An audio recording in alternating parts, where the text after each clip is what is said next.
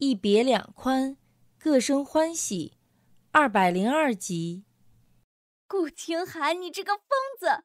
你自己没胆量救人，也不让我救，你就是个孬种、懦夫！你这么怕死，不如早点死了算了。我瞧不起你。高竹清的叫骂并不能激怒顾清寒，他甩下他站了起来，强忍着心疼，逼自己扭过头不去看他。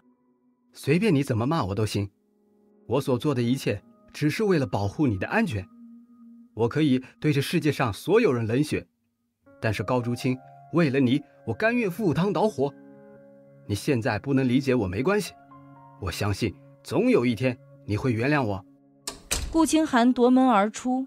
锁上了房门，高竹清拢紧衣服扑过去。顾清寒，放我出去！放我出去！激烈的拍打了很久的门，都没有一点反应，把自己累了个半死。